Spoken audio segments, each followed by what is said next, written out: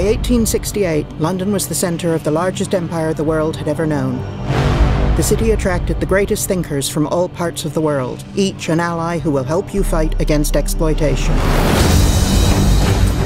Alexander Graham Bell, Scottish inventor and engineer. Inspired by the deafness of loved ones, he studied acoustics and was one of the early inventors of the telephone and other modern marvels. I've been working in something that's meant to stun an assailant. It's a blessing that you employ your genius for the common good, Alec. Karl Marx, the author of the Communist Manifesto, in his writing and in speeches, spent his life fighting for the rights of workers. I challenge you both to help those who really need your assistance, the working people. We accept. Shouldn't we at least talk about these things first? Sod it. We accept. Charles Darwin, father of the theory of evolution, his ideas defied popular thinking about the origin of species. I am used to people challenging my ideas. In fact, I live for it. Lately, however, attacks have taken a darker turn.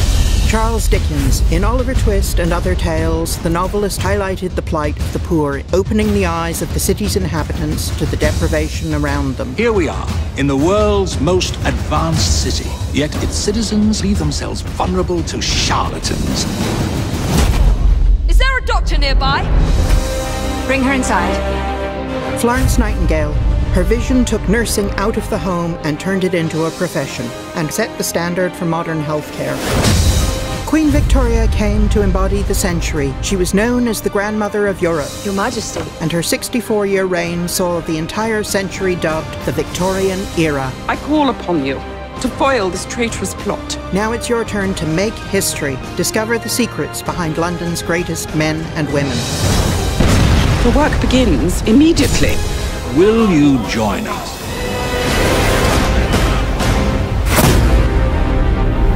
Not every problem can be solved by blowing things sky high. What's the fun in that? Pre-order now at Amazon for access to the Darwin and Dickens conspiracy. Reserve now. Available October 23rd.